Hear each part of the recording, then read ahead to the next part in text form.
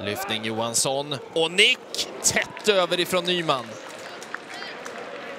Ännu en fin möjlighet för IFK Norrköping.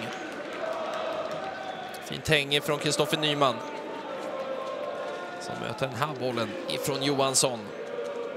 Den här bollen smiter precis över Gävle-ribban.